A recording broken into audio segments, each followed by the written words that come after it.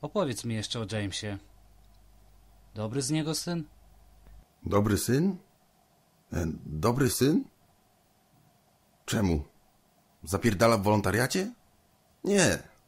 Siedzi na zadzie cały dzień, pali zioło, wali konia i jeszcze ta jego konsola.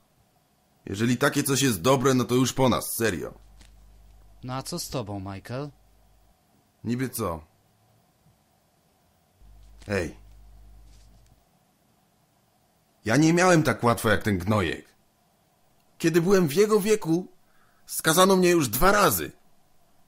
Byłem kasiarzem i Alfonsem przemytnikiem też. A, i to wszystko to jest powód do dumy, tak? Ale to była szansa, jaką miałem. I ją wykorzystałem. No i gdzie ta szansa cię doprowadziła, Michael? Doprowadziła właśnie tu. Ślepa ulica.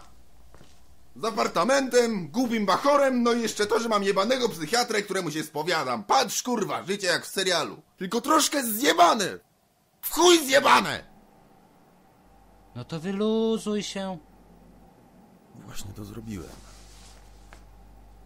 O, ale ten... Czas leci, kończymy. Widzimy się za tydzień. No tak.